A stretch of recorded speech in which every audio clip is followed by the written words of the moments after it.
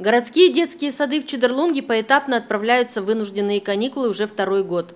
Решение об измененном графике функционирования детских дошкольных учреждений принято при мэрии и одобрено городским советом. Такие меры власти объясняют повышением эффективности использования бюджетных средств. Значит, мы планируем сэкономить э, около 800 тысяч. В прошлом году мы эти деньги сэкономили, благодаря этой экономии мы, нам удалось рассчитаться с долгами за газ и э, мы топились всю зиму. Если, если, э, то есть я хочу сказать, что это мера вынужденная, это не прихоть примара или еще кого-то, это вынужденная абсолютно мера для того, чтобы зимой 13-14 э, года дети ходили в детские сады.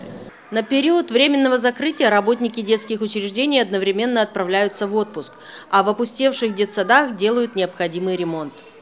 Три дня работаем без детей, приведем в порядок всю территорию, кто-то в группах уже родители, которые хотели делать ремонт, они уже начали с детьми вместе, где как мы решаем все вопросы, и они обустраивают свои группы для своих же детей. Возможно, для примарии такой подход выгоден, для администрации удобен, а родителям, наверное, накладно. Им предложат оставить детей с родственниками или устроить их в другие дошкольные учреждения, места в которых ограничены.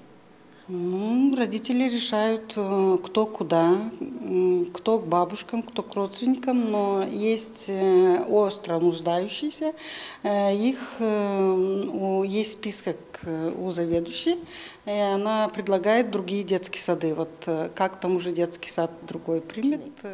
В городе Чедерлунга функционирует всего шесть детских садов. На первом этапе на каникулы были отправлены около 600 детей. На период закрытия основного детского сада в другой функционирующий детский сад временно было переведено 27 детей.